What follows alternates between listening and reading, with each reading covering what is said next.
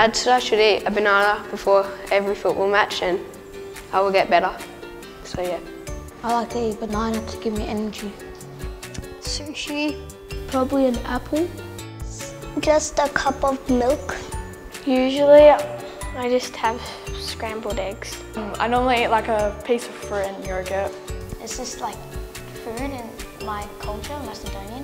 It's bread with cheese in it. It's called kifle. Uh, yeah, I like eating that. Easily pasta. Get the carbs up. I usually just eat a sandwich. Wraps. Um, I've never really played a game of footy, only once, so maybe like a banana or something.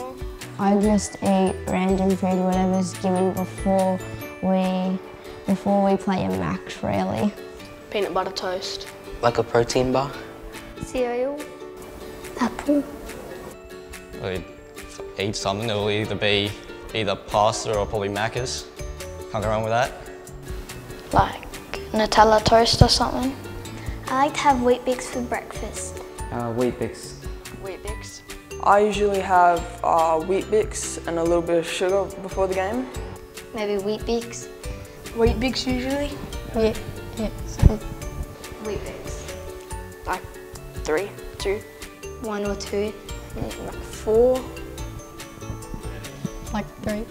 Um, well, I normally have like bacon, uh, like eggs and bacon with like some fruit on the side. I like to eat um, some like a light breakfast before I play footy. Some noodles and a piece of fruit. Probably like avocado and toast or something. Toasty. Um, I might have like hot chips or something. Uh, fruit like banana and watermelon. Eggs and bacon because it's full of nutrition. A banana. Um, a tin of baked beans. Um, nothing. Lunch. Um, pasta. Maybe like fresh fruit. If it's a morning game, I'll just have some toast on that for breakfast. Um, but I might just have a little snack before. Um, a breakfast wrap. Probably water. Porridge. It's a fruit. I eat fruits and vegetables so that I have enough energy to play. I don't know, toast. Um, I like to have like a bunch of like fruit and stuff like that.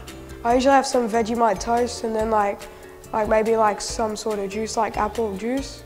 Um, usually I go for eggs and toast because that's you can never go wrong with that.